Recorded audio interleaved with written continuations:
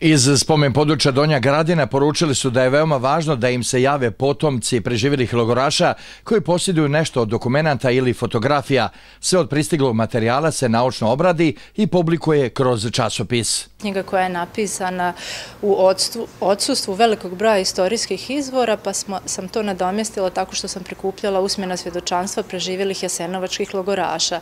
I upravo je to taj metod koji koriste sve više eh, institucije koje se bave ovom temom e, u svijetu, jer je e, to spona koja nam odaje tu empatiju prema stradanju.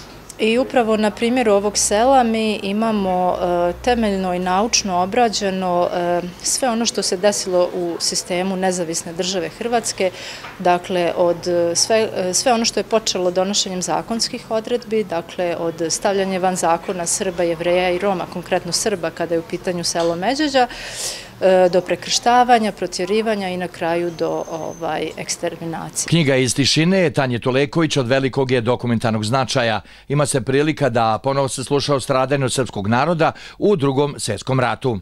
Moram da, e, reći da je poseban značaj e, istraživanja nekih mikrolokaliteta, jer svi smo fokusirani nekako na sami Jasenovac i stradanje u Jasenovcu, dok nekako zapostavljena budu ta sela, znači, stradanje, što kažemo, teror na kućnom pragu, gdje su mnogi, mnogi ljudi ubijeni znači u tom nekom direktnom teroru. Tako da moramo i da posvetimo jedan dio, ne samo mi u spomen potučnog, generalno istoričari da posveti jedan dio istraživanja i tim Eh, selima koja su zaista opustošena i zaista su mnogo nastradala za vrijeme drugog svjetskog rata. Kako se kaže, radi se o ustaškim zločinima koji su počinjeni od strane NDH u selu Međeđa kod Kozatske dubice tokom drugog svjetskog rata.